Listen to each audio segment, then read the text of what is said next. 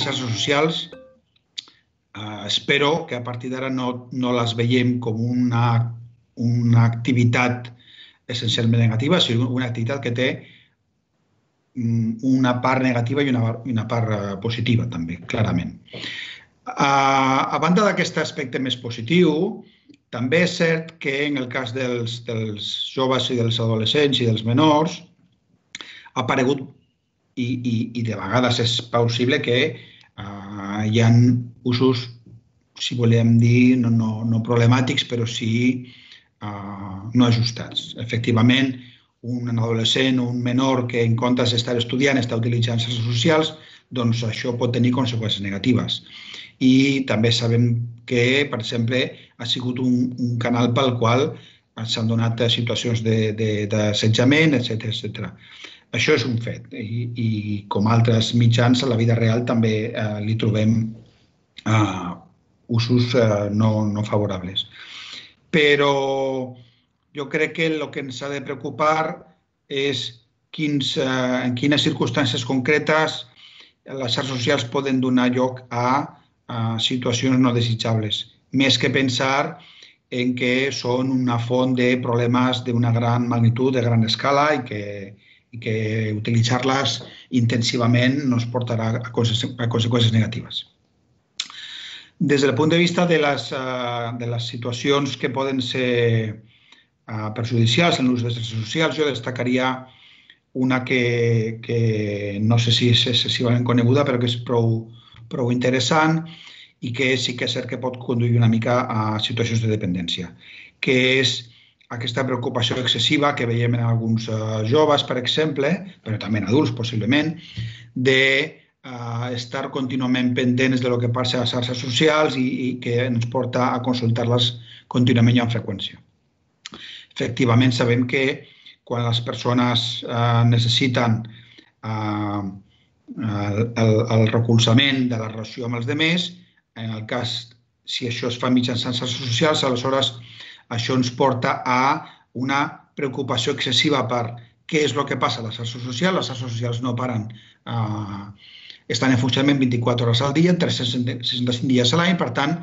eh, és fàcil que nosaltres eh, entrem en un cicle en el qual estem constantment eh, mm, intentant copsar què està, què està passant a les xarxes socials respecte de, de lo que a nosaltres ens interessa. I aquesta situació realment sabem que pot ser una situació que genera dependència. Generar dependència no vol dir generar patologia, però sí que és cert que genera un, un, una preocupació excessiva per lo que passa a les xarxes socials i això alimenta precisament aquest, aquesta, aquest, aquesta preocupació que ja existia per les relacions eh, amb, amb els altres. Per tant, destacar aquesta situació potencialment negativa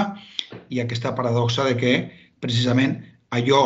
que fa interessant a les xarxes socials les fa també especialment eh, potencialment problemàtiques. D'acord? Eh, què fer perquè les xarxes socials aleshores no sean una font de problemes i no generen aquesta dependència, doncs, bueno, aparentment és fàcil. Eh, és, eh, si hem dit que eh, aquest interès que tenim les persones per tenir relacions socials i per mantenir el contacte amb les persones amb les que tenim interessos, doncs ho canalitzem mitjançant les xarxes socials i això pot tenir conseqüències negatives, el que podem fer és uh, prevenir una mica que no siguin les xarxes socials el nostre únic canal per tenir relacions socials i cultivar les relacions socials fora de les xarxes socials online, cultivar les relacions socials en la vida real, cultivar les relacions socials directes, cultivar les relacions en molts àmbits de la vida eh, els que no estem eh, dependents de la tecnologia. Sí? Això eh, ens permetrà obtenir satisfacció en altres circumstàncies de la vida i no tenir aquesta dependència de la comunicació online. Sí? Uh, uh, I una altra cosa que també volia destacar, que de vegades també se'ns passa una mica per alt i que en els mitjans no rep prou, prou, prou atenció, diria jo, però que entre els especialistes sí que ens està preocupant força, que és una, un ús de, de xarxes socials i de dispositius de comunicació, eh, especialment el, el, el mòbil, que sí que té una repercussió directa, directa en la nostra salut, que és l'ús del mòbil, l'ús del mòbil per comunicar-nos, bé a trucada, bé a xarxes socials, mentre estem conduint. Aquesta és, aquesta és una situació realment de risc i que està darrere de molts accidents de trànsit i jo crec que és important recalcar de cara als joves, de cara a les persones, encara que no siguin conductors, però algun dia seran uh, copilots, acompanyants o, o, o aniran en un vehicle amb una persona que pot estar utilitzant el mòbil i les xarxes socials, que uh, s'ha d'evitar uh, a tota costa utilitzar mòbils, xarxes socials durant la conducció. Això és un factor de risc d'una magnitud tremenda. I, bueno, en principi és el que volia destacar de cara al tema de xarxes socials online,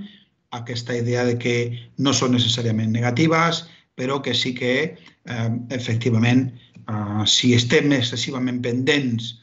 de els nostres, les nostres relacions mitjançant xarxes socials, això té un, un, un, un punt de, mm, de risc de crear dependència i que